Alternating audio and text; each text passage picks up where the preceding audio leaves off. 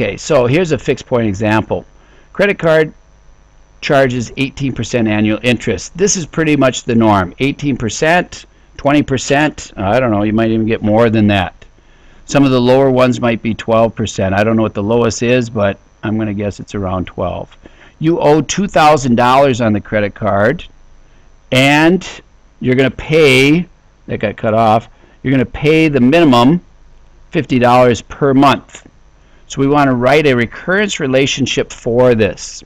So what that means now is that my now is equal to my previous. So what's going to happen is that they're going to pay, uh, I'm sorry, they're going to charge me 18% interest on the amount I owe, and then I'm going to pay off $50 of it. Now in the first month, sometimes they don't charge you the interest right away, and but then they'll get you sooner or later. But this will be, and so this these numbers don't always match up exactly what happens with the credit card, just based on do they charge you interest right away and different things like that. But it gives you a really solid idea of what's going on. So I take now is equal to the previous, and I'm going to multiply by the rate. The rate is going to be 1 plus, and this is just from your exponential growth problems that you did with um, exponential functions. And I'm going to divide by how many times they're going to apply this rate, and it's going to be 12 times. They're not charging me 18% per year. They're charging me 18%. Uh, I'm sorry, they are charging me 18% per year.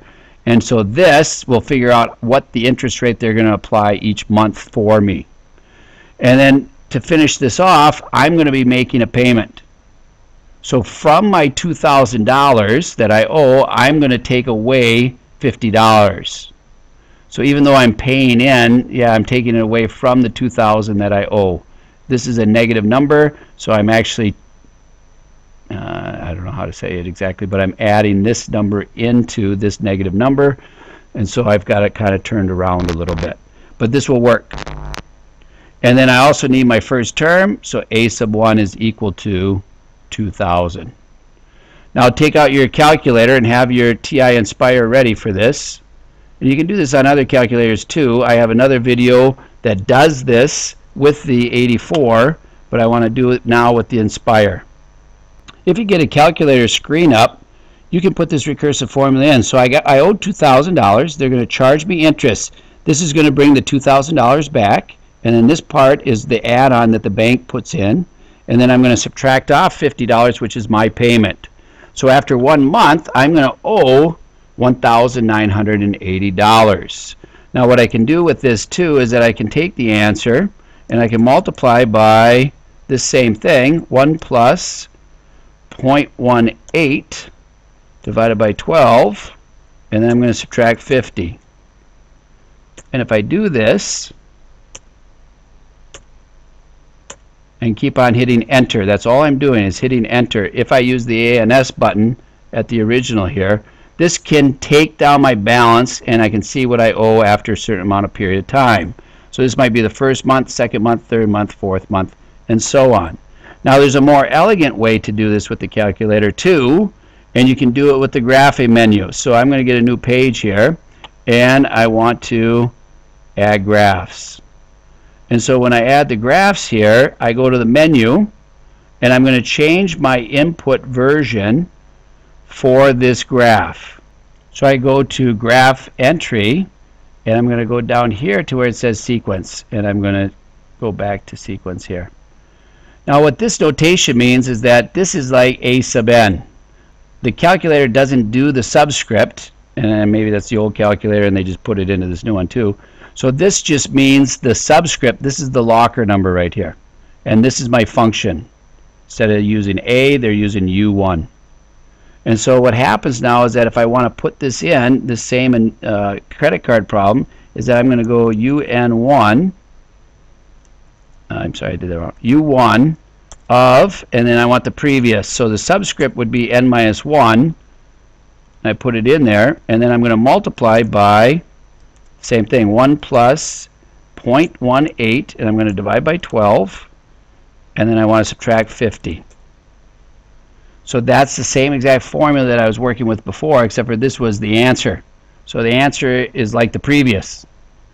And then my initial term would be 200. I'm sorry, 2000. And step one is what we want. I mean, we're just doing it each month. So if I click on this, oh, I don't see anything. But I can go to fix my window. Remember, we had $2,000, and we want to see how long this will take to pay off. I don't know if that's your objective with credit cards, but it is my objective with credit cards. And so this is going to take me a lot of months. Maybe 100 months? No, that's way too many. Way, way, way too many. $50, I should be able to pay off that $2,000 TV pretty quick. And so this one I got to go up to 2,000 and maybe pad it a little bit, 20. And if I grab, oh, there it is. Oh, wow, that takes a long time to pay that off. So what's happening here is that each one of these payments, these are months as we go along here on the X, on the Y's, that's how much I'm going to be owing. So I start off with 2,000 and it will progressively decline here. However, wow, this takes a long time for me to cash out. Wow.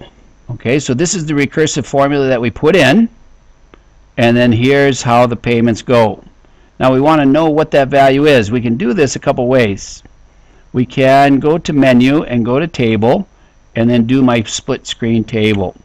And with this, these values are already in here. I want to look for when my, oh, when my balance is zero. And I find it right in there. So between the 62nd and the 63rd month. Uh-oh. That's like five years. I buy a TV and it takes me five years to pay it off because I'm paying the monthly on my credit card, the minimum monthly on my credit card. That is ridiculous. So we want to be able to pay a little bit more off as we can. So to answer the specific questions here, uh, this is the second value through the sixth value of what I owe off my credit card. And then also here's where the payoff occurs between the 62nd and the 63rd month to answer this question here. Yeah, I try not to ever carry a balance on my credit card. It's always a bad idea. But having a credit card is all right from what we have. Now the fixed point for this one is if I let, if I go to my equation that I have over here, I'm going to do it over here. If I let my now equal to my previous, and I try to solve this out,